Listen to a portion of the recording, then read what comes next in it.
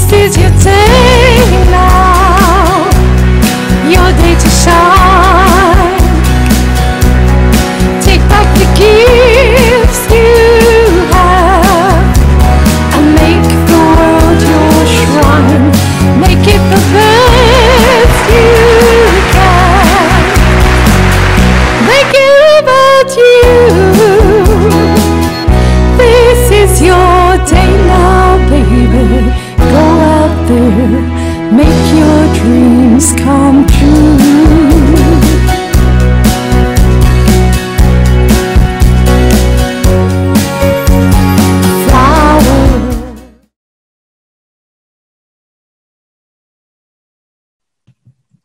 Hey guys, welcome to Moving On TV. And today I'm really, really excited because I'm going to be interviewing someone, and his father is probably the most famous person that I've met in my life, and I got to interview for about one minute, I think, in the Freedom Rally on the 29th of August.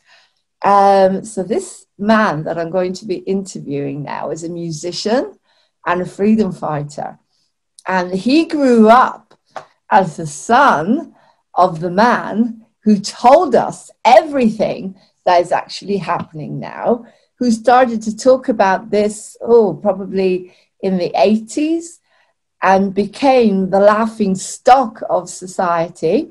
He used to be a footballer and uh, called himself the Son of God. Well, because we are all children of God. And obviously, a star seed a very, very exceptional um, star seed that came to the planet to warn us about what is actually happening now and what we're living in. So I am so excited. I am so excited to be interviewing Gareth. Gareth, the son of David Icke. now, Gareth Icke is um, incredibly talented musician in his own rights and also a freedom fighter who is standing up and is doing all these speeches also to help us eradicate the system and to find something better for all of us. So I'm going to ask him about how was it to grow up as the son of David Icke and anything else that comes into my mind. So hopefully it's going to flow beautifully. And I want you to enjoy this incredible interview. And come on, moving on TV. Please subscribe, share, and like. Take care. And uh, let's invite Gareth on. So, hi, Gareth. Welcome to the Laurene Hope Glory Show. And it's wonderful to have you here on Moving On TV. So, where are you? What are you up to today? Okay. So, hi, Gareth. Hey, how you doing? Cool to see you. It's it's an absolutely beautiful day here in the UK. Uh, where are you at the moment?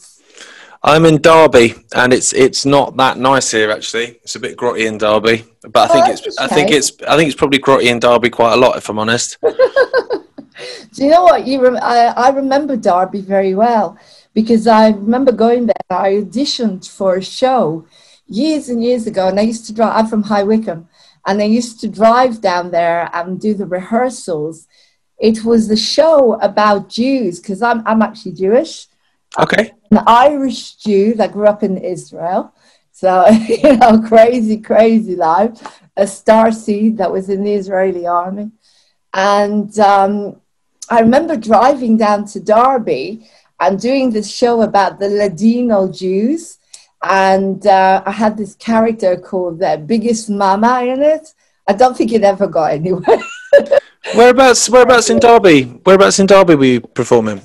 Um, well, we performed in London, but I remember I we used to rehearse in this pub. I can't remember. It was like um, we were given a free room to rehearse in. I swear to God, I can't remember. It was it was called Anna and Rose. That's it, Anna and Rose. I mean, you've taken me back now. And I remember there was this beautiful, beautiful B and B I stayed at, and it was in nature, and you you had to drive away from it in order to get to it. Absolutely gorgeous. But there you go. So it's really exciting to have you here today. And It's a pleasure. yeah, it's lovely. So what are you doing there at the moment? Are you doing are you part of the COVID Truth Tour? Um, I, I'm not. No, I'm, I'm doing bits and bobs on the on the tours, but I've got a little one, and she's only two, so um, obviously I've you know my responsibilities are there. Um, so when there's you know a protest near enough to me that I can get to, then I'll do it. Um, Okay. But yeah, unfortunately, those those touring days of being in the back of a bus going around the country are are long gone. Um, although it would have been fun, I'm sure. Do you know what? The only thing I can, I've never did that, but I can identify with you with doing the fringes. I did all the fringes in 2014 to 2016. Oh, it was amazing. We drove all the way to Edinburgh, sang on the streets, sold it out everywhere. And then I got, I, I sold it out. I had five star reviews, and I was talking about mental health recovery without medication, doing the breakdowns. And then I got to um, the media, and that was it. No one would put me on. So let, let's kind of flow with that a little bit. How did you feel with that? I mean, you're an artist, you're a performer, you're a musician. And um, did you actually try to get on the mainstream to get your talents out there? I mean, how did you feel about that? Um, well, I did. I'm a bit old school in that sense. I, I, I did it the old school way. So, um, growing up on the Isle of Wight, there was lots and lots of bands there, loads and loads of bands. Um, because basically, there's nothing else to do. If I'm honest, um, you know, the summer's great, sit on the beach all day, but then when the winter comes, everything shuts down and it's just a bit grotty, really. So, there was loads and loads of bands. So we just toured.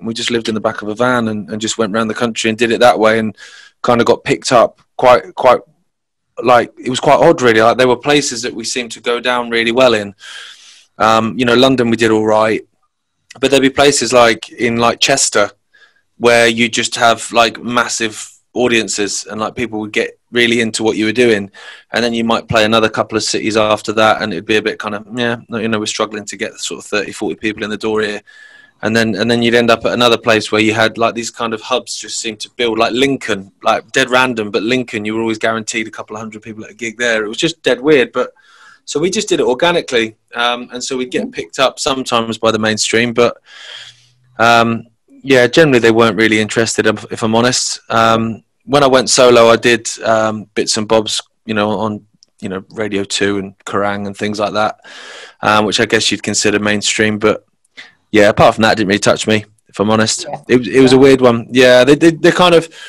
I got pigeonholed really with the surname. So um, for for all the people that you'd get through the door just out of sort of almost morbid curiosity, um, you'd get the same amount, if not more, people would just just discard you. It's oh, that's that. Yeah, Mm. right. you know. So yeah, I don't know, but I, I didn't do it for them anyway. I did it because I love doing it, so I'm not really bothered. If I'm honest, Of course you Yeah, did. it's one of them. Yeah. You're a real, true musician.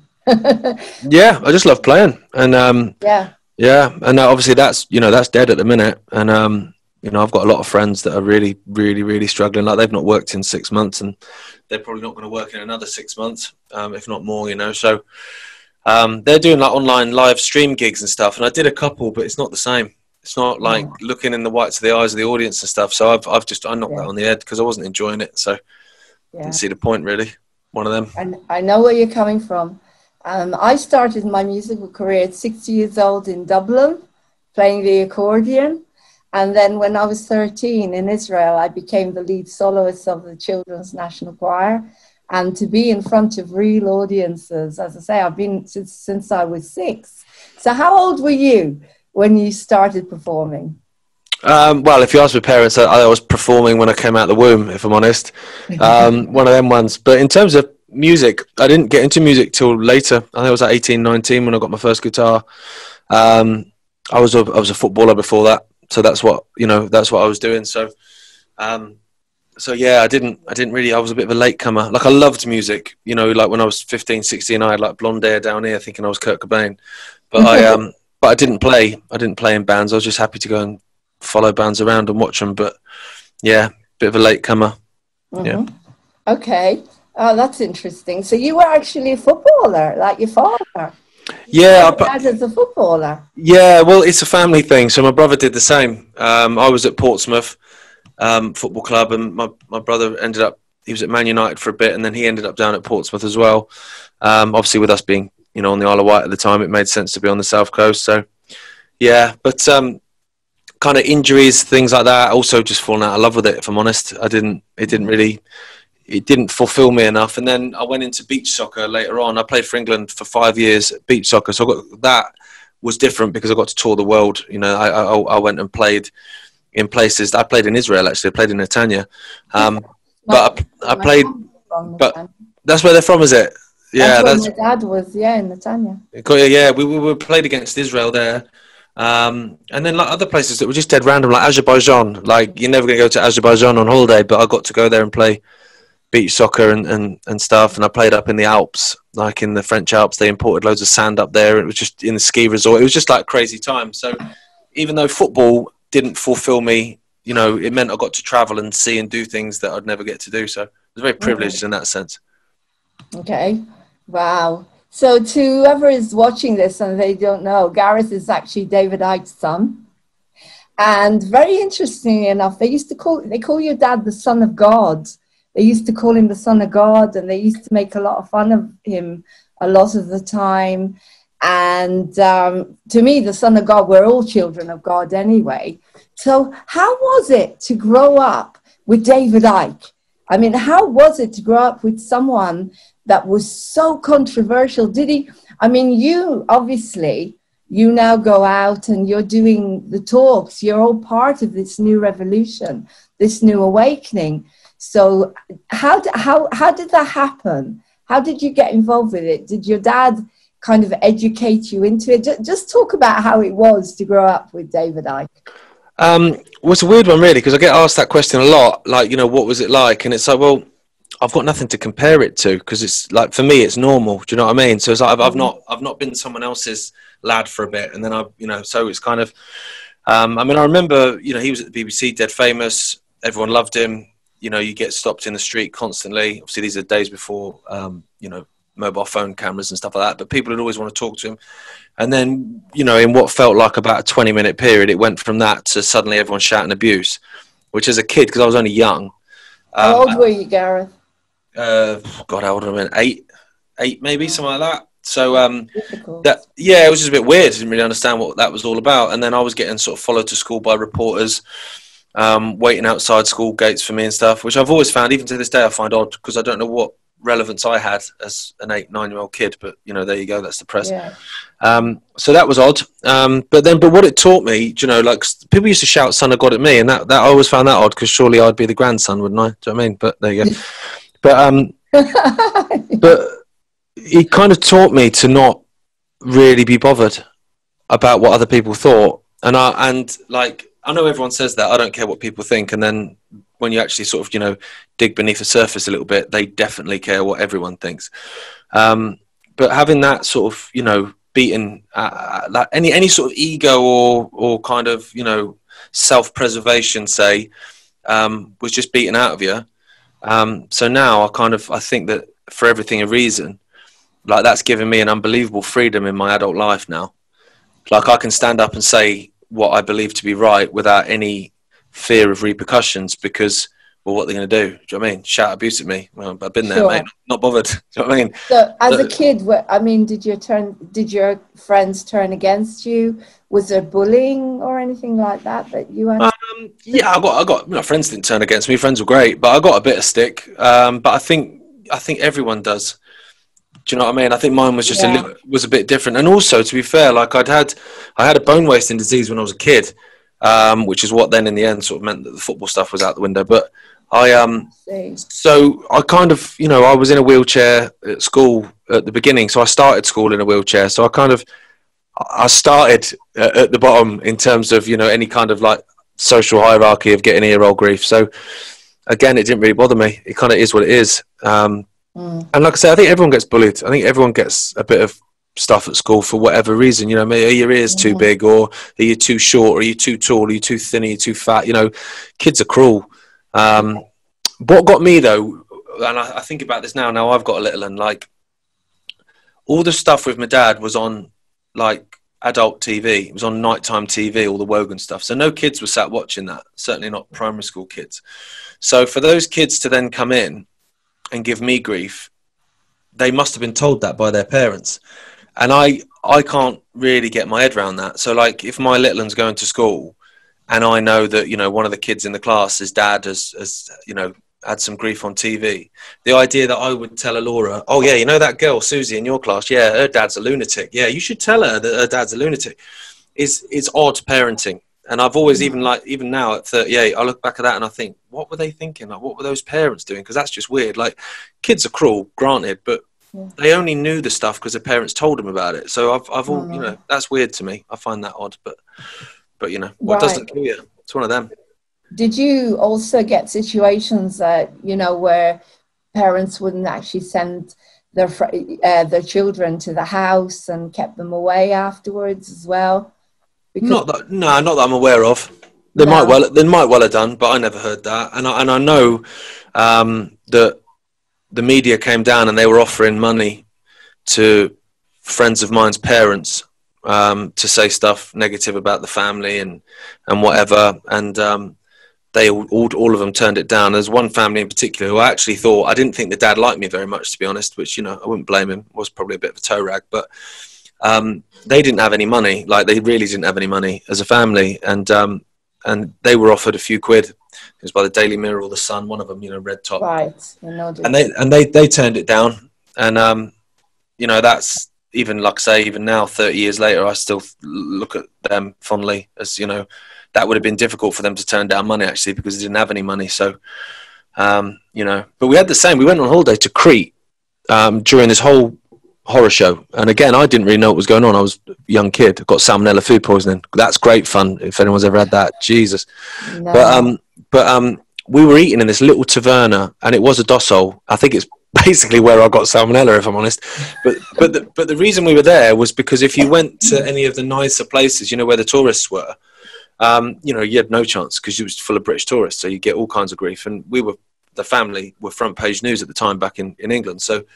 Um, so we ended up going to this little taverna, um, you know, out off the beaten track, and, and someone again from the mainstream media had got wind of where we were going, and they offered the guy that ran the taverna um, money to say stuff, money to tell us, uh, to tell them when we were going there, when we were booking a table, when where we were staying, Mm. and um, and again he refused. This Greek guy, lovely bloke, turned it down, and um, you know it was a lot of money they were offering, and and Yeah. he didn't he didn't have a lot of money. You know that it was a tiny little taverna off the beaten track, so he wouldn't have made any money. But so for all the nastiness, you know, um, you got some real nice souls out there as well, and some really good humanity that, that you kind of witness. So just to balance Yeah. it, you know, it wasn't all negative. Mm. Well, like you say, I mean, the ages of seven and eight are so important. You know, I was taken from Dublin, a really safe, easy, beautiful country, to Israel. you know what I mean? Continuous wars and terrorism and uh, childhood abuse, everything. I went through everything. And you're, you're, you know, you're so impressionable at that age. And there's a part of me that if I had a magic wand, I would have I would go back to Ireland now, even though I know that everything that happened to me, Gareth, made me into the person that I am now, the freedom fighter. You know, if I hadn't gone through all of that, I'd be hiding behind the couch now, wearing a shield and watching the MSM. So, do you do you ever feel that? Do you ever feel that wouldn't it have been great if Dad never did this? If he just stayed that inc- that that footballer that he was, where he was getting all this um, praise and positivity, and when suddenly it was like, no, your father's a lunatic. So, do you do you do you ever feel that you would like to maybe turn the clock back and do it again? No, no chance. No Nothing. chance. No, I don't. I don't. You know, I don't believe in anything like that. Um, you know, I, w- I was married once when I was younger, and you know, it was a horror show. Um, and so, you know, I'm married now to my wife. We have a child together. We have a house together and stuff like that. And you know, part of me's thought in the past, you know, wouldn't it have been nice to have gone back and just got rid of that? So I, you know, but it's like no, because that's what led me to where I am. Um, if I hadn't have done that, I wouldn't have met my current wife. We wouldn't have had a Laura. We wouldn't. Do you know what I mean? Because things would have been Mm. different. And then so I think, um, I think you you are where you're meant to be, and it's how you deal with it and how you react to it. And I, I, I kind of like I've always had this opinion that we we sort of we choose our lives anyway. Like we've chosen it before. Um, you know, before we get here, which I know might sound a bit sort of out there to some people, but you know, I don't really care. it's how I think. So Yeah. I, I kind of feel like I chose this. Like I chose to be here at this time. I chose to be his lad. Um, I chose to be Alora's dad, and I chose this path because it's what I'm meant to be doing um, for whatever reason. And you know, I'll I will carry on it, carry it on through till the end because that's what I'm meant to be doing. So no, don't don't believe in regrets.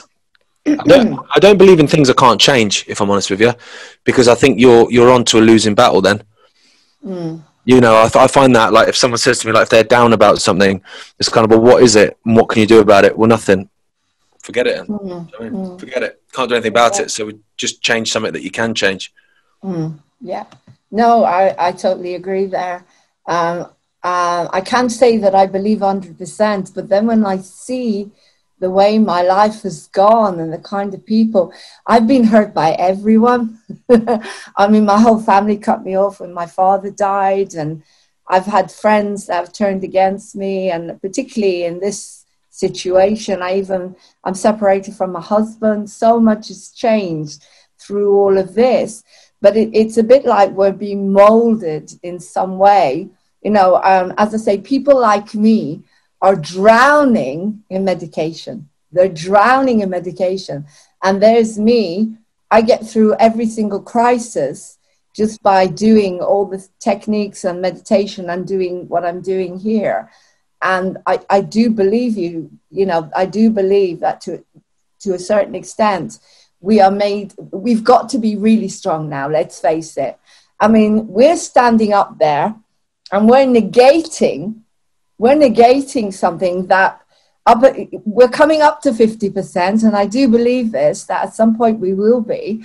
But we're got, we've been going out there for years like you and me. I've been going out with big pharma for years and years and years um, trying to convince family friends and sex trafficking. And people would just say oh i don't want to talk about it. Don't want to talk about it.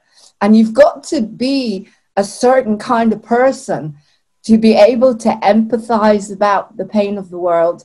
And you've also got to be a certain kind of person to be able to deal with all of this pain that the world throws at you all these people that but they're teaching you.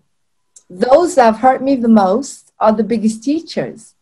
They're the greatest teachers. And, and I think that's what's led us to being able to stand up there tall and really, really stick with what we believe in, Gareth. I mean, because come on, it's, it comes at you are all over the place trying to say to you, you're a lunatic, you're mad, you're killing people. I've, I've had this on Facebook calling me God knows what kind of names when I'm standing tall and saying, you've got to get back together that you know this is this is not what you think it is and giving evidence and you get called everything on this planet so you're doing you're doing talks at the moment are you as well Yeah, bit yeah, bits and bobs. to your dad's It's it's a real like interesting point you've made there. Like I, I I'm I completely agree. Like you win some, you learn some.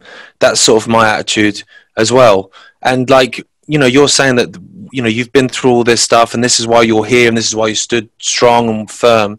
And I think that's that's the point. I think it's damaged people that are the ones standing up because they've got the courage to do it because they've been they've been through stuff. And so then that goes back to your previous question, you know, like would I have liked to have put back time so that dad was just a footballer? Well, no, because I wouldn't be prepared for this. You know, I'd have had a cushy Yeah. life and, you- and you wouldn't be prepared for stuff like that um, that's happening now. And, um, you know, when I look around at the people that are speaking up and fighting, they are they are warriors, but they're only warriors because they've had to be in the past. Mm, You know, the, but the one person I don't want to fight is someone that's you know got a lot of experience in fighting. do, you know, do you know what I mean? You know, and that's you know that's who's standing up now, and we we have to stand up. We have to, and it's it's not pretty. And I've I've lost plenty of friends over the last six months. But the way I look at it is, they served a purpose in my life for a while, and I served a purpose in their life for a while, and you know we'll have a sort of metaphorical handshake and bid farewell, and I'll carry on my path, and they carry on theirs, and you know you never know they might just come back and we might meet again in in 20 years 30 years two months whatever. Um, but if not then we carry on. Yeah. Um do you have brothers or sisters i mean i'm not sure do you have any siblings at all? Yeah i've got i've got an older sister Kerry, she's down on the Isle of Wight. Um, Right. And then I've got a younger brother, Jay, who lives up here with, with me up in Derbyshire. Um, and he runs Right. Ickonic. He runs Ickonic, the network. So, um, so yeah, we, so we do stuff for that together. Oh, brilliant! So you you all basically were brought up on the same teaching. So did ever was everyone happy about that, or were uh, any of you? I know you're saying that you were happy about all of the way the way that you were brought up by your dad, but what about your siblings? Did they have any? Was there any contradictions or anything at all? How did they feel about it? No, I think they're okay. I think they, you know, in the same way as me, like we went through the same sort of, you know, ridicule and all that sort of stuff. So, you know, that's never. I'm going to sneeze a minute. Excuse me. Bless you. Is, sne- is, is, is sneezing a symptom of COVID? It's hard to keep Of up. course it is. Might be, mightn't it? Yeah. Should get, should get tested. no- there's no, we've got, there's no colds, there's no hay fever, there's no bronchitis, there's no, there's no nothing now. It's only COVID, as we know. All right. unbelievable. But carry on, carry That's on. annoying. That's annoying. I've, I've, I've sneezed my way into a deadly virus on a, on a podcast. That's uh, I never thought that would be how I'd go, but there you go. It's lucky you're on here and not on some mainstream because you know, Oh yeah, someone would be kicking the door right now and they're carting me off. Yeah. But no, my, my, my brothers my brothers sound like in that sense, and my, my sisters sound like we're, we're very different people. Um, the three of us. Um, my brother and, and my sister are very much sort of behind the camera kind of kind of people. Like my brother in particular, you know, he runs Ickonic. He doesn't want to be in front of the camera. It's not his thing. Um, because he's he's been asked to speak at a couple of events as well, and it's really it's not his thing. Whereas obviously I'm a bit more of a big mouth, and obviously I've like yourself, you know, years of performing, you know, uh, musically and stuff like that. So that gives you that little bit of experience of It standing up in front of people. Yeah, which you know it is nerve wracking as well. Like I must admit, when I when I spoke in Birmingham, that's the first time I've ever spoke publicly. Like I've played in front of like tons of people all over the world, musically and football. Um, but to stand up there and speak, and I don't know how many people there were in, in Birmingham, probably a thousand, something like that. Um, to just get handed a microphone and then just talk with that many people looking at you listening, it is it is nerve wracking. I must admit, and I, you know, I went a bit the old Shakin' Stevens on the legs. Um, but the more experience I get at it, um, and I've just decided as well to just do away with notes. Like I had these notes, and as I just like my dad said, but you know what you're going to say. And I was like, yeah, I don't need notes. Chuck them. Because I'm speaking from the heart, and you know, I, I don't have to remember things because I believe them. If that makes any sense, do you know what I mean? I don't have to try and remember yes. stuff. It's like no, just say what you feel and Just what you screams out of you. yeah, and that's and that's what I did in in Sheffield. It's the first time I just chucked the notes. I was I don't need them. I know what I'm saying, and um and just stood there and spoke, and it was fine. So Mm. yeah, I feel like I'm learning, learning how to do it. Yeah, Brilliant. I've got an edge over you there because I'm an actress, and and you know when I went out with the acting, it, the first as soon as I would finish doing the the life story, you must know Edith Piaf, the French singer. Oh yeah, yeah, yeah, yeah. Yeah, and Maria Callas, they all, well, she had serious mental illness and depression and all sorts. Both of them did, and I do both of them, both their life stories. I've been very lucky to have a voice that is adaptable to both the really high notes and the really low notes. But the beauty of it is that at the end of the show, Moving on Theatre is very specialized in the way that it's all about mental health recovery without medication. And uh, as I said, the therapeutic communities. I've even written a whole musical called Encounters based on mental health recovery with compassion and love. And so, anyway, to cut a long story short, when I stood, sta- once I do the show, I do these massive breakdowns, crying, screaming, laughing, doing literally the institution and everything. I come out in front of the audience and I say, There you go. You saw what they went through, their depressions and their breakdowns. Look at me. Look at me. I, I'm running a theatre company, me with a serious mental illness and I haven't fallen out with anyone. We all live together in Edinburgh and, and it, it's, it's given me the edge. So I just stand there and it's, it, as you know, once you've done your singing or, or you've done the show, you've connected to spirit. It's a really good way to open up. And, and that's probably why, was it Noel Gallagher who just stood up and said, I'm not wearing a mask? And he's just telling them where to go. I think a lot of entertainers, a lot of artists like ourselves, because our music makes us go inside, it makes us connect to spirit and it opens the heart chakra. It opens everything, doesn't it? It's easy for us to understand that this world this is not what it seems to be. And also because we get the hard knocks, you know, where we do, we basically live from one day to another, you know, as we're usually not earning anything. yeah, yeah, exactly. we love, we do what we love, so we're able to see what's wrong with the system. We're able to see what's wrong with society. But I want to talk to you about God, at the, the concept of God, because I'm Jewish. Um, I was brought up Jewish, but I never believed in it. I never could believe in it. I couldn't believe in a religion that told me that thank you, God, for making me the golden child that suffers, because that's what was in the scriptures from when I went to synagogue. But one thing I'm very grateful for being Jewish is the fact that I was brought up on the Holocaust. Now, without going into how it happened and what happened, we all know now how, how it all happened, how, how the deep state created everything. But it gave me an edge. And as soon as this lockdown happened, I, I knew, oh my God, we're living in 1930s Germany, but we're awake. We're awake so we don't have to go to the gas chambers, so to speak. We can stop it now. So, so my concept of God uh, is is not a religion. I believe we're all the same.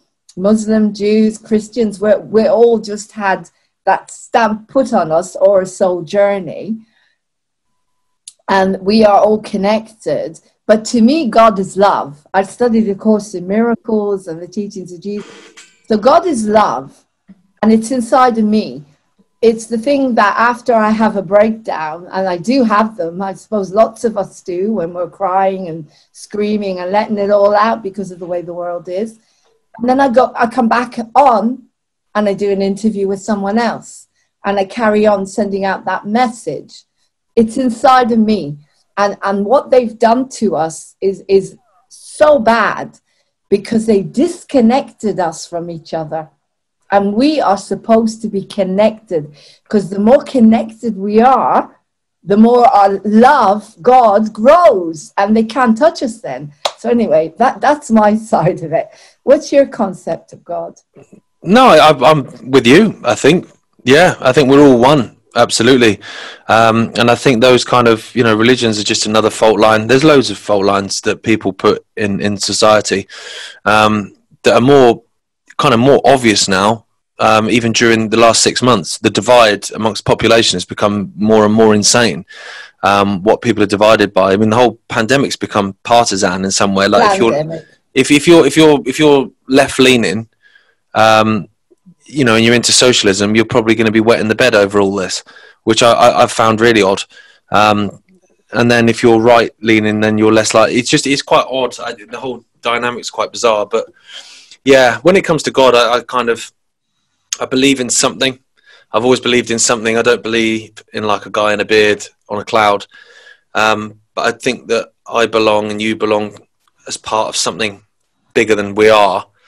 Um, and obviously, religions are just kind of they seem to be telling the same story anyway. Really, if you if you, if kind of skip away the little bits and just go to the core of all of the major religions, they're all telling the same story anyway. Um, and like you said, actually, it's interesting. You say like the, the religions are just a label that are put on people. Um, it is funny how you have two Christian parents that just happen to have a Christian child. You know, like that. What the odds? Because um, there's no free will gone into it. Do you know what I mean? It's the same. You've got two Muslim parents, and the, the child's come out Muslim. Wow, what are the chances of that? Um, you know, it's it's the labels are being given to people, um, and you know, it's not free will. It's not what they want to do um, organically and naturally. So, mm. so I'm not I'm not pro any religion at all, um, but I do believe in something. I just don't know what it is. But I'll I'll find out when I get there. That's my okay. thing. I d- I don't mind not knowing, and I kind of quite like living by some kind of Ten Commandment as well. Because if you break down, I think it was George Carlin broke down the, the Ten Commandments to one, which was do not steal, and that's all it is basically. Um, whereas I'd look at the Ten Commandments as basically just don't be an idiot, don't be don't be a dickhead, don't be horrible.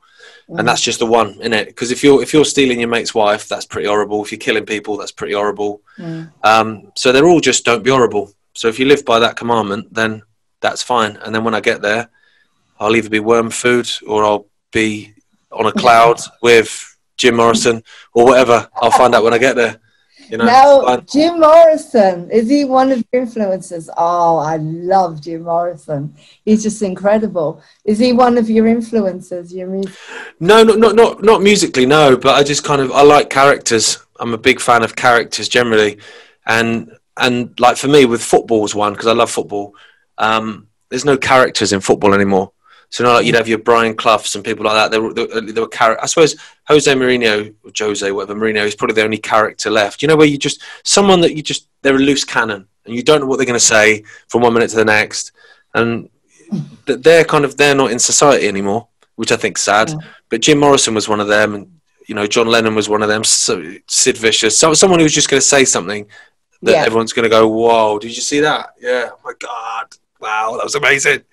And those th- those people are now just kind of, yeah, they don't really exist. They're sort of we've it's just become quite vanilla X Factor. Mm. Yes sir, no Puppets. sir. Puppets. puppets. Yeah, yeah, you know, y- you'll, you know, footballers are the same. Like, you know, what they can and can't say on their Twitter accounts.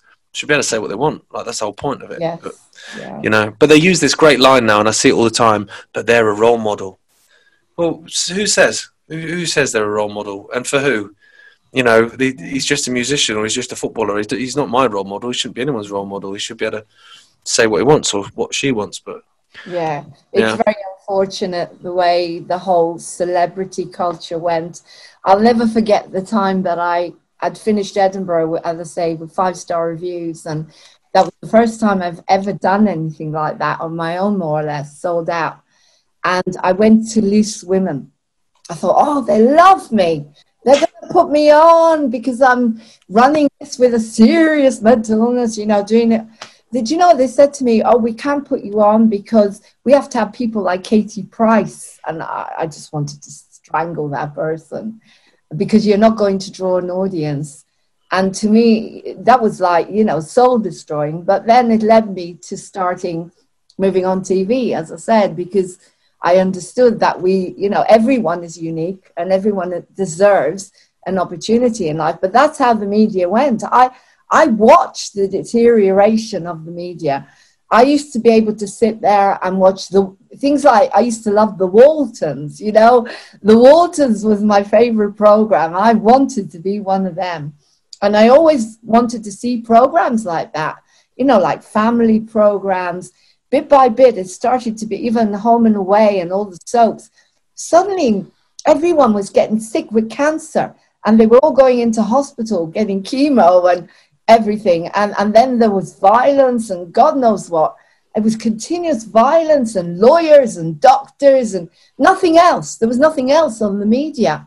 And of course too much sex and bad language. And i thought this is i just saw the the deterioration. And i thought i'll start moving on tv because i'm going to not have any of of that. It's only respect and compassion and making everyone feel special and unique.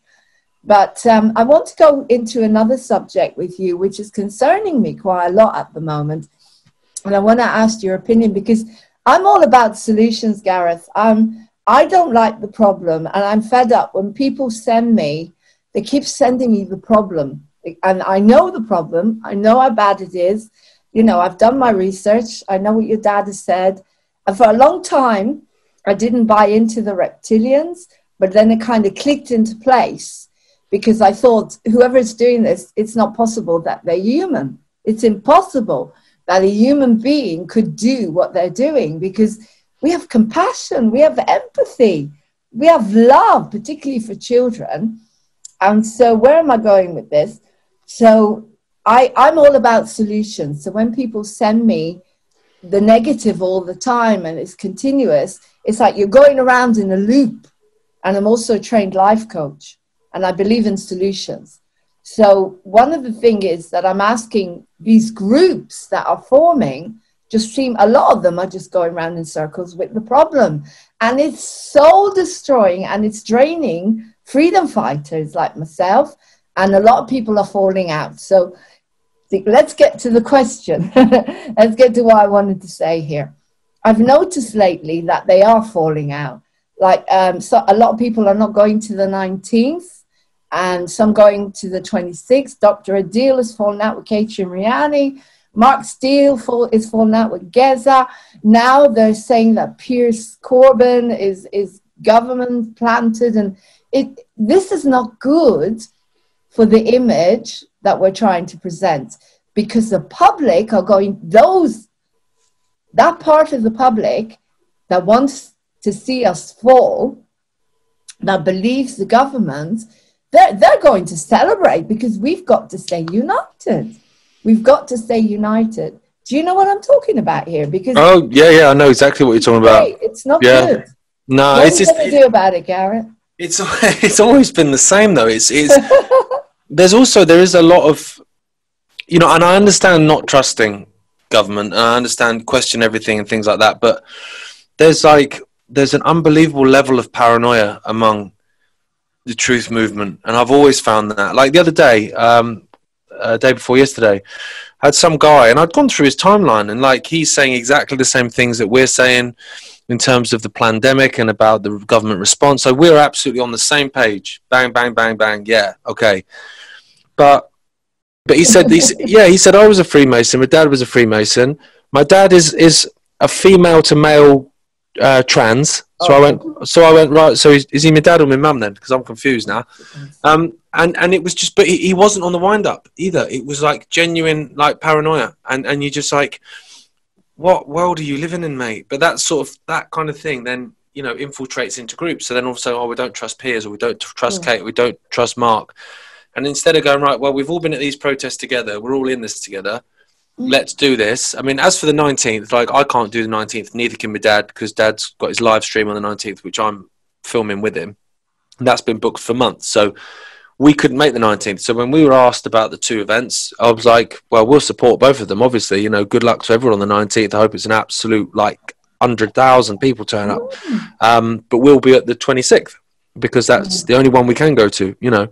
Um, and I think, you know, people should support both. And there is a little bit of a kind of attitude that, well, if people go to the 19th, that should split.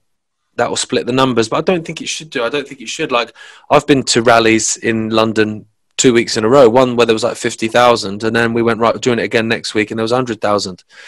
Mm. Um, so you know you can grow stuff like on the weekly.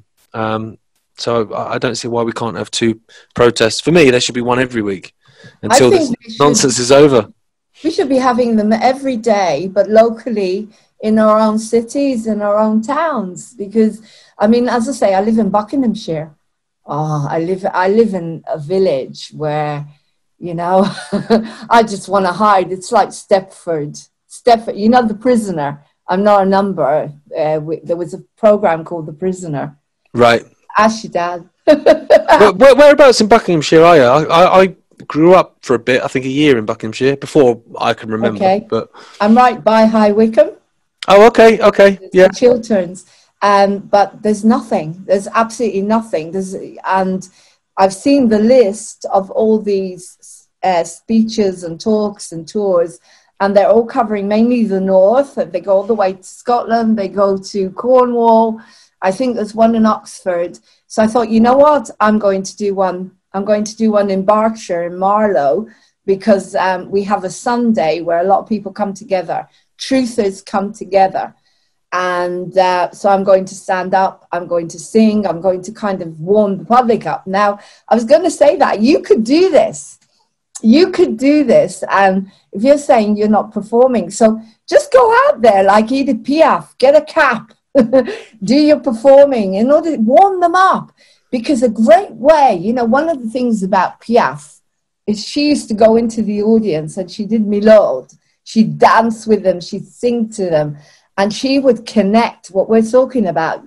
We have an advantage over anyone because we can break down music, breaks down every single barrier. And so, what I intend to do, and as I say, you can do it, anyone can do it, is just just do what you're good at and then get a cap out and ask for donations. You know, because I don't know about you, I'm not earning anything. But I think it's a good way to bring people together. And, and I know that a lot of people are starting to understand there's something wrong.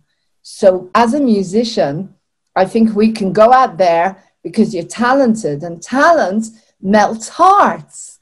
People really love talent. And if you go out there and you, as you said, connect to them with your eyes, really draw them in, you're likely to wake up a few people just by doing what you love. And, you know, I think it's a great idea. And, and I've been looking forward to going out and speaking and touring for God knows how long. And now it's here. We need to go out there and create our own. So I'm thinking everyone should be doing it in the local area, literally every day, every couple of days. Just get your boombox, get your microphone, get into a park, get a few leaflets, and I'll film it on Moving On TV and just that's it. I think that's a good way to wake up people. Do you know what I mean? Or yeah. when we say wake them up, I'm very, I'm, I'm, I'm like your dad. I, I don't suffer fools, and I, I'm very, very extreme, and I can't. It's very hard for me to talk to someone who's an idiot, who's who's walking around struggling up the street with a mask. I, I find it really hard. I cannot find the love in myself so, do you have that? Do you have that edge? Well, I know people can go up to someone and they can start to talk to them and and when they throw at them, oh, a million people died of COVID, the media told me, a mass, yada, yada. Um, I can't have a conversation with them after that. I have to, okay, goodbye. And yeah, that's I I probably similar, isn't he? Yeah, it's, I know what you mean. Accept that. But I think for me, this is what I do anyway. So like, I, I don't like to preach. Um, you know, if I'm if I'm at an event, I'll stand up and I'll speak. But if on on the day to day, if I'm you know stood next to someone in a shop or whatever, um, I will just tend, tend to just engage in conversation, um, which is you know what I did anyway. To be fair, and I, and then I just uh, I, t- I tend to kind of just point out facts and and then you know ask them questions about it and and because the whole COVID narrative is is so ridiculous. You know, it's so ridiculous that the only way that you could believe it, isn't it? Yeah, it is, and the only reason you could believe it stupid. Is is if you've not actually really paid attention to it. That's the only way I, I believe, anyway, that you can that you can you know go along with this whole nonsense is if you've not really looked into it or, or thought critically in any way. So I then just asked questions, and I I went to Alton Towers at the weekend um, for my daughter's birthday. Um, birthday was back in June, and we booked it, but obviously it was all locked down, so they they moved the dates, and we went last weekend, and it was great. We went to see BB's Land and just did all the you know kiddie stuff. And so when we're in the queues, like the kids just playing together or whatever, and I just ended up just in conversation with the parents of you know different kiddies, and I was saying just saying things you know about this and about that, and I talk about the PCR test and about the fact they use 45 cycles when it only needs 10 cycles to show up a virus. Why would they? Why would they do that? It's going to show up loads of uh, false positives, and just just make and you can just see people going, "All right, it's weird, actually, isn't it? That's true. That is weird. I'd never even thought of that." And you're like, "Right, okay, well, you might go away now." And when you know your uncle, who's a bedwetter, says, "Well, look, Karen, blah blah blah," you might go, "Well, actually, they're using 45 cycles instead of 10," and then he might go, "What do you mean?" And then there's a conversation, and so yeah. I find myself doing it like that because I, I know what I'm like. If someone preaches at me, I'm like, "All right, mate, all right, I'm stood, yeah. in a, I'm stood in a queue with my daughter. Like, don't preach at me. Um, so I feel like if you just have a conversation, like I had it um, not long ago, the other week, I went down to, um, there's a big queue outside Tesco's and I just could not be bothered with that queue. So I was like, oh, sorry, I won't go to mm. Tesco's today. I'll just go and buy like a little falafel wrap from this guy who runs a stall. Mm-hmm. and so I ended up just chatting to him and I did the same thing. I was like, it's weird, isn't it? See, they've shut down Greater Manchester. He was like, yeah. I was like, but the test isn't testing for the virus though. So I don't. And he was there going, "Is it not?" And I was going, "No, no. The guy that invented it said that it shouldn't be used. Why are they using it then?" Well, exactly. And it ended up just a conversation. and and then I took my falafel wrap and I, I you know went off. And then every time I go back now, he's like, "How are you?" Still getting mad, isn't it? Yeah. He, now he's saying things to me now.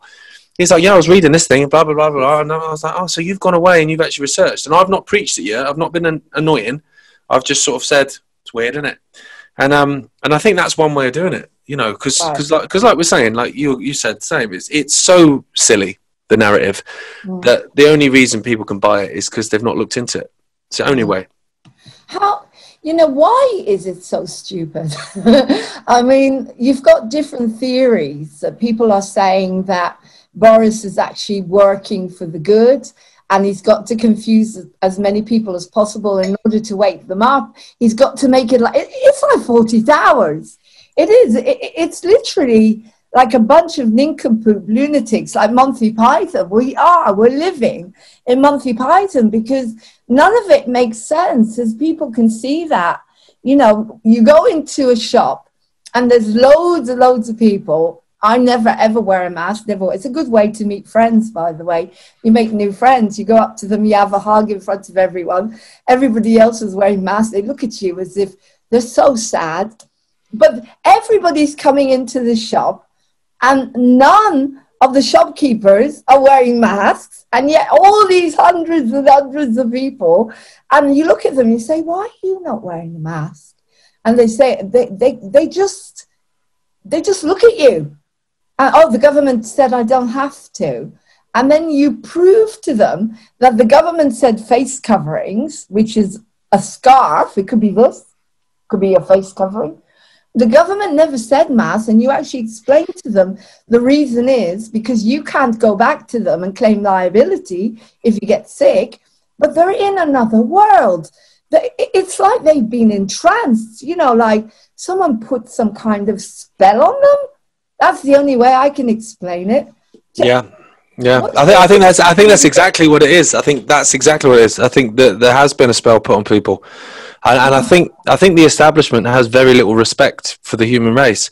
I think it thinks that humans are morons, and actually, you know, when you can say on the twenty third of March we're locking down for two three weeks, and we're now, you know, getting towards, you know, gone, you know, towards the end of September then you know they're probably right that people just put up with rubbish that doesn't make any sense. Um, are they um, just are they just sorry? Are they just bumbling idiots that that have basically screwed themselves up because of all of this, or is there an agenda? Is it an agenda that's literally leading to the new world order, like your dad says? Is it just leading us to Nazi Germany again? I think 100%. I, th- I think Boris plays the, the role of bumbling idiot very, very, very well. Um, because a bumbling idiot is sort of, you know, hmm, he's quite, he's not threatening really because he's just a bumbling idiot. I don't think he's a bumbling idiot at all. I think he's a very intelligent man. I think he's a very driven man. I think he's a very cutthroat man um, who knows what he wants and he knows how to get it. And that's how he's, he's prime minister history. of this country. So yeah. he's got a history of paedophilia, hasn't he? Um, I don't know. I don't know. I, I, I thought you were going to say eugenics then, because I know he's got a history no. of eugenics with his father. Wrote a book on eugenics. Yeah. Really? Okay. Yeah. Okay. Okay. So here's the big question: What do you think about Trump? I mean, I I have a, a lot of trust in Trump, but but he's human. He's human. I have seen the way he ended wars and how all the sex trafficking is coming up. So you, uh, you know, you do have to give him some credit but he's a human being. And I personally feel that even Trump, Q, all of this movement, it's not about them. It's about us. It's about us coming together. Where we go on, we go all. It's about us waking up. It's about the human race saving themselves because, you know, they do say God, God helps those that help themselves.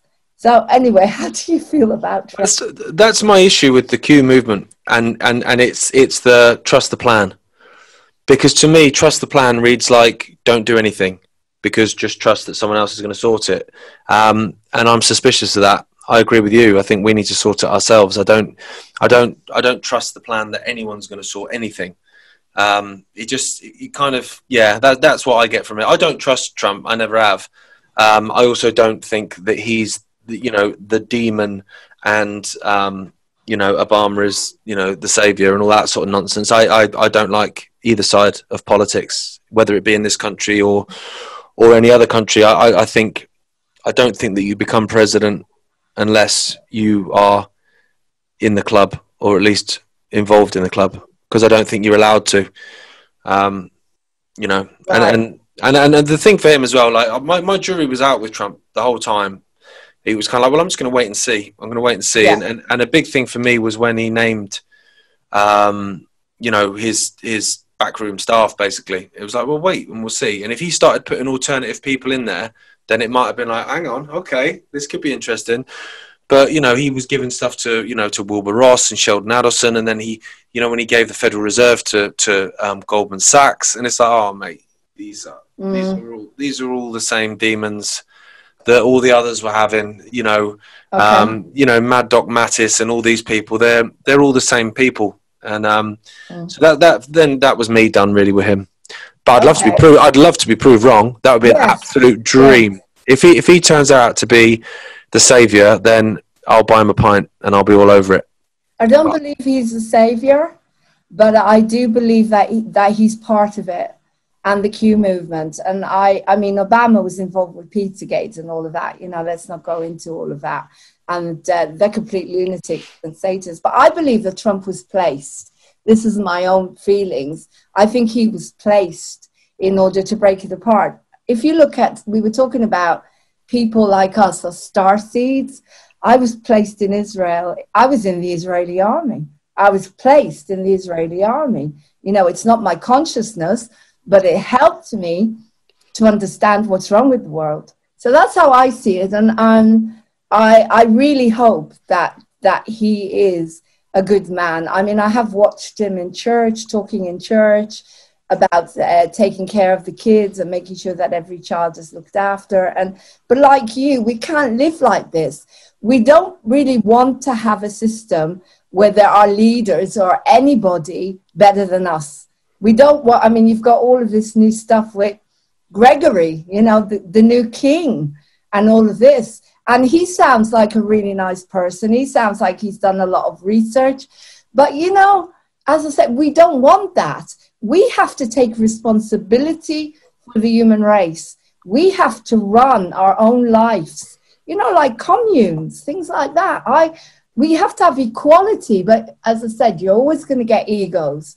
And we have to work on our egos. We have to work on, on understanding that we all have a past and we all come from different places and different directions. We've come from different uh, agendas, but the most important thing is that that can't matter anymore.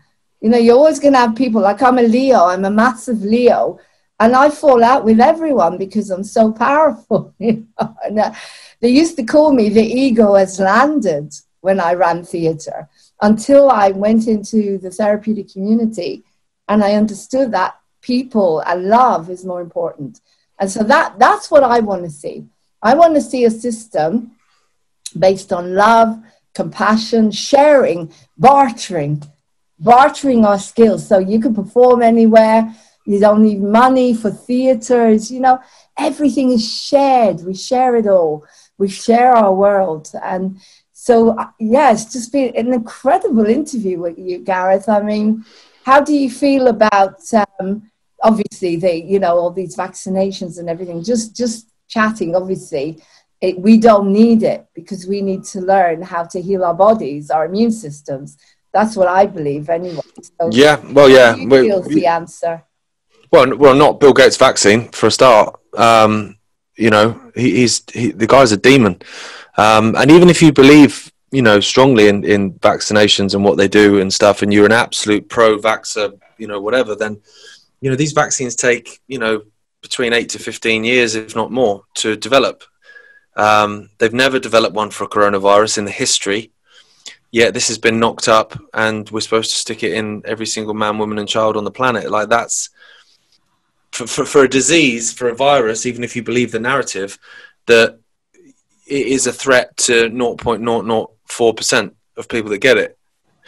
Um, so it, you know, it doesn't, it doesn't make sense to me. It doesn't add up. So I think what they'll try and do, because I, I, I don't think they're going to try and just yet, you know, hold everyone down and stick it in their arm. But I think what they'll try and do is just make it virtually impossible to live without having it. So you can't you can't travel, so you can't go on an airplane, you can't go back to work, you can't do this, you can't do that. Um, so people will just go, oh, for God's sake, just okay, I'll have it. You know, just to have my life back, which is the worst possible thing people can do. Exactly. Um, and it might just come down to, like you said earlier, like communes. And I'm fine with that. You know, like if we just get a load of like-minded people, a few hundred people, on a plot of land. We'll all grow our own food. Mm. I'm fine. I'm absolutely fine with that. I'd rather I'd rather my little one grew up climbing trees and planting food Yeah. than than playing with you know an Xbox. Anyway, so that's fine. Yeah. Wonderful, wonderful. I mean, I've got my own little allotments and growing stuff. And quite honestly, the whole of this area, there's so many empty houses that, you know, at some point, people are living on the street homeless, which is unbelievable. And, uh, you know, there are, I'm sure that people are going to start doing something. But as, I'm, as I say, I'm all about solutions. So I want to end with a positive. I want to end with a positive. So, what you, you were highlighting the worst case scenario, and we're waking up. We're waking up. We're waking up, and we're going all over the place, and we're showing that this is not how we want to live.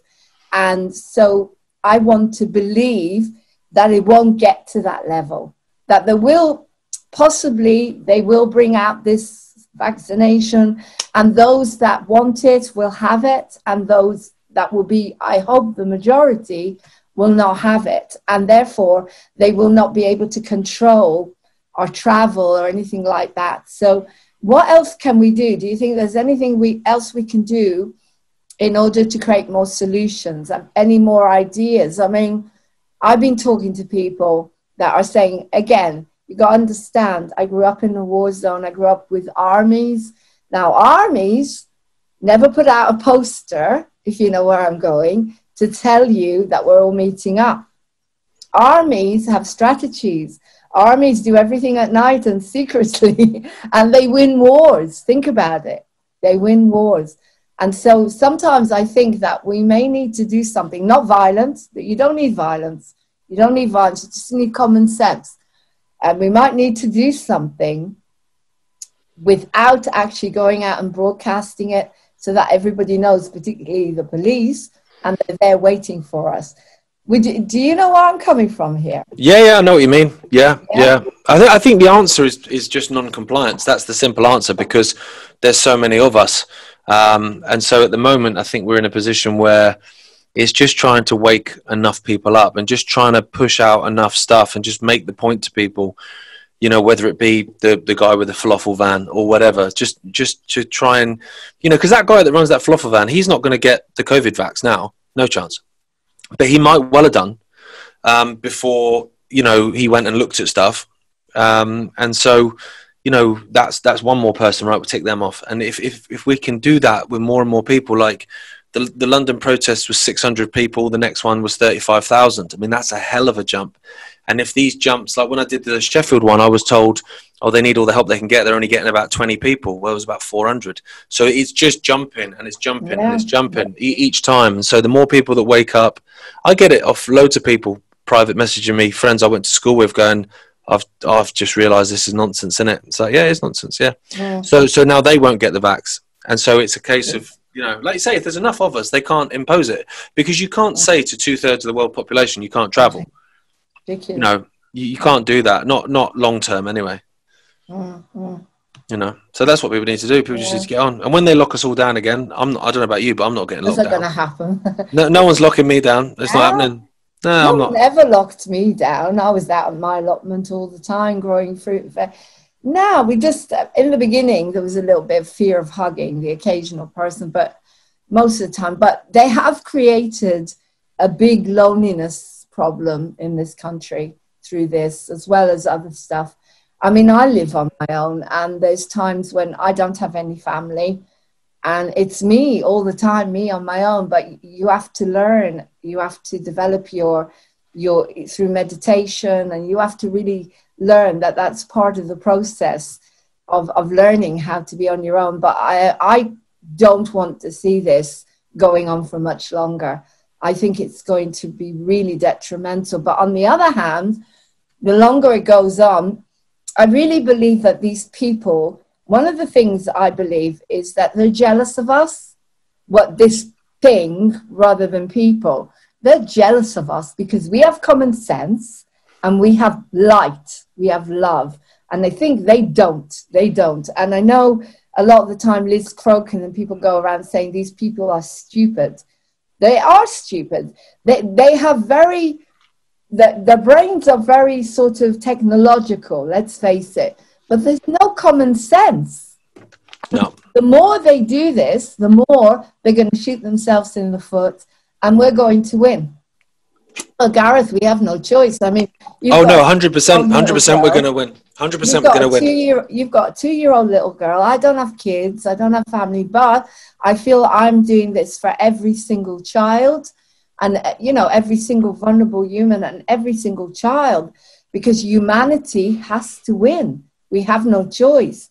And so, you know, with your little girl, I mean, are you? She's two years old, so I presume uh, she can't go to nursery or anything like that at the moment, or Well, she she she went back to nursery um, for a couple of days, um, which was quite a traumatic experience to be honest, because all the kids were all upset because they've all been stuck in their houses for six months and, and not you know going to nursery, so psychologically damaged. But um, yeah, she got a runny nose because she's two, and that's what happens when kids go back to nursery. normal.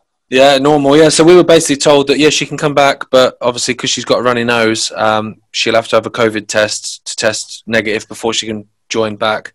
So we were like, right, well, not coming back then. So um, Oh, this is just, Yeah. it's just insane. I mean, don't people realize that children get sick all the time?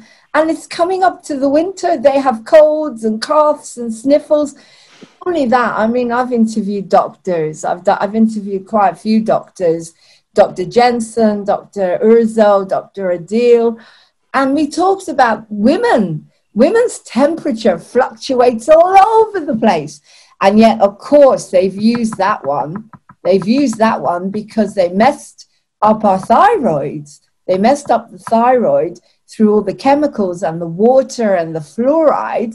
And now they're using that, the temperature thing. But I mean, surely people, every, you know, I don't get it how people don't say, but every child gets sick. We know this, it's a regular thing yeah, our kids always got bits of colds and it just it's like we landed in in on a different planet suddenly where literally common sense went out the window and we're bringing it back. So let's hope that people are able to come back. And not all of them will come back. Not all of them will come back. And we will lose a lot of people through this. But we will save humanity. And every war unfortunately has sacrifices. And there's really nothing you can do sometimes. There's nothing you can do. Nothing. No, No. i went out into the public garage to test something that i found out about they do not resuscitate um, smokers 45 years old smokers and obese people i went out to the public and i confronted a, a public member and I thought this person would say that's outrageous. And yet they said to me, "Yeah, they're a drain on the com- uh, on the country. We need to let them go." Yada yada. I thought, hang on a second. Does your dad actually talk about people being born without souls? Because to me, that was a soulless human being. oh yeah, yeah. It's about eight percent, isn't it? Eight percent of the population is is a psychopath. I'm sure it's about eight percent, something like that. They were just born like without a soul. Yeah, well, just just a psychopath. I mean, it, that that that that person you've spoke to there, like I, that would be the first thing I'd say to them. You do realize what you've just said is insane. You do realize you're mental. That's that's that's that's a that's a horrific thing to say. How can you And say to that think- about a human? I know that's it, isn't What it? you said about an animal. I mean, you don't just no, an animal down just like that. But oh. anyway, they, it, as I say, it's gone way beyond, way beyond. I'm getting. I had someone call me the, yesterday. She's left the police force. She's amazing. She's not brave enough yet to get out there and to talk. But I, I do feel for them. I do feel for the ordinary uh, people on the front line, like police force. And but I, but I don't understand how a nurse or a doctor can keep quiet and go along with this and just because they're going to lose their job i'm sorry but i think every single gp needs to be sacked i think that i don't think we need gps anymore what, what do we need gps for we can well, they, they don't see you anyway. pardon They don't see you anyway anymore. exactly so why are they being paid are they being paid by the NHS or something because we need to end that. I mean, Yeah. it's totally useless. You and I know everything about our body. We know how to uh, to prevent and heal everything, and and to try not to get to the level of a heart attack, even if you break a bone. And I broke my leg uh, a couple of years ago. I didn't have an operation. I had a cast, and now I can do anything. The doctor told me I'd never walk again, of course, and I was in a wheelchair for four months, a bit like you know when you were a kid. And that's the time when you're in a wheelchair, you notice how cruel people can be. You, you just disappear. It's like, uh, you know, people don't want to look at you at all. But you can actually make a cast now. Go on YouTube and you can make your own cast. you can heal anything. Mother Nature gave us everything. So, on a positive note, is there anything else you'd like to say to give us some more hope so that we can end this? Because this has been an absolutely incredible interview. I'm, I'm honored. I'm honored to be able to interview you and with the wisdom and to give you the respect that I know you're not going to get from that lot. Um, so, is there anything else you'd, you'd like to say, Gareth, before we end? Um, well, thank you for having me. For one, it's been lovely. Um, but just that we're going to win it, and and I, you know, I'm not just saying that for effect. I honestly believe, like with every single ounce of me, that we're going to win it. And I think we're coming up now to a real critical point, which is this three week window, which I keep going on about, where furlough ends in October. So at the moment, you know, there's people like us and lots of others as well. To be fair, that are vocal, and there's lots of others that agree with us that are less vocal because you know I don't want to get any grief or whatever. Um, but then there's this massive majority of people that know that something's up, but it isn't affecting them yet. So they're getting their furlough payments, they're getting 8% of their wages, they're sat at home, they don't have to pay to get to work, they don't have to buy their lunch at work. So actually, even though it's only 80% of their wages, they're sometimes even, you know, earning more money by not going to work because they don't have the out, outgoings. A friend of mine, it costs him nine grand a year to get to work, so he doesn't have to pay that, obviously. Um, so, um, so that furlough ends, and so all of a sudden, those people that are now, you know, kind of, you know, watching Netflix, kind of enjoying it a little bit, are going to be put in a position where, well, there's no more money coming in, and you're getting locked down again. There's no work. There's that desperate point then where all of a sudden there's a large, large number of people in the population that have got nothing left to lose, and they're they're they're the one person or the one group of people you don't want to fight. It's people that have got nothing left to lose, um, and there's going to be a lot of those people, and so you Oh, know, yeah, yeah. I mean, they're You- going to come on our side. You've got you've got the free you've got different groups here. It's all about the bit in the middle. It's like buddhism. You've got to find that bit in the middle. You've got one group that wants to guillotine everybody and then you're going to end up with the french revolution. You know what came after that. And then you've got the other group that just want to sit there and meditate and send love and light to everyone which is like you know once someone's harmed a child they're like a rabid dog and you don't want them in society. They're gone finished. Um, so you've got to find that bit in the middle. You've got to find the common sense in order to be able to move on from this and to create, as I say, a beautiful society. Do you, do you know anything about NESARA and Gesara? Those terms of the new systems, NESARA and Gesara? Now, is is that the like the destroyers and the creators? No, no, no. It's No. a new a new system of global reset, a positive one, Right. And global where if you every country has to sign up for it. And if you try to start a war you actually get defunded. Charlie ward talks a lot about it. I don't know if you watch him. And also um, quite charlie freak there's quite a lot of people that are talking about there's groups on on facebook. And it sounds like if you're a humanitarian which is good for me and good for you you know you're likely to get grants because up until now, yeah, I did get a lottery grant uh, to write my musical um, because I could never get anything up until this um, lockdown. So there's some silver linings. But they usually make you jump through so many hoops and here, there, and everywhere. Um, anyway, it's been incredible, Gareth. It's been lovely. Thank you, and I'll talk to you again. I'm I so hope. I'm sure. excited. And uh, I shall see you on the 26th. I'll be filming. Oh, fabulous, fabulous. Yeah, I'll see you then. I've asked Piers if I can sing Pie Jesu because I've got this theory, as I said to you, like James Twyman, the troubadour of peace, that when the police all gather around us, we bring everybody back to God, to love, by doing a meditation, closing our eyes and doing a meditation as we're walking down to Downing Street. I personally feel that if we do that, no one will get arrested. So I'm, I hope to be able to try that out. I'm going to try it on the 19th when everybody finishes talking, and we'll see what happens. It'll be fab. meet you in person again and Yes. you down to um, Marlow. Get you down to Marlow to doing a talk. Oh yeah, very quickly before you go.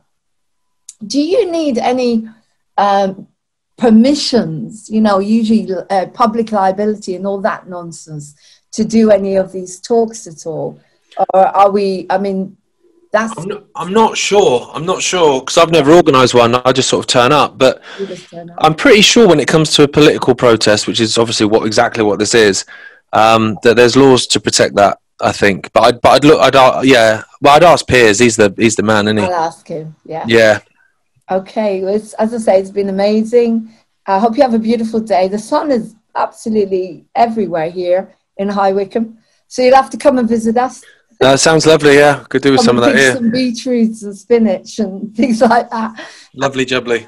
Have a beautiful day. It's been amazing and lots of love, Gareth. Take care now. Take care. Thank you. Bye bye. Take Cheers. Care. Thank you. Bye. bye.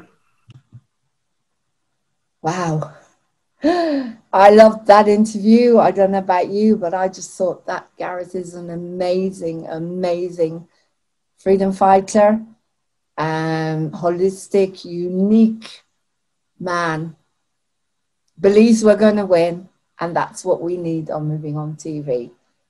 So, welcome to the Laurene Hope Glory Show, and please enjoy this interview come on moving on tv with your positive stories with your positive ideas we have to win this we have no choice guys and there's no point falling out with me if i say that 1% of me says that trump is not what he says he is or what you think he is.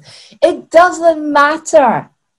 All we care about is we come together and we save humanity together from something very very evil something very dark that does not have any empathy or love, that has tried to end us, humanity, the beautiful human race that we are. All right? So there you go. So um, join the petition, start your own, come to mine, come to mine on the uh, 20th, Higginson Park in Marlow, singing and anybody who turns up can sing, perform, talk, and we will carry on waking up people slowly, slowly, or in big groups, whatever happens. And if and when that lockdown comes, go out there and do the opposite. Celebrate your freedom and know that this is just a massive hoax. I love you lots. Contact me at movingontv1 at gmail.com. Please subscribe, share, and like. Take care now. Bye.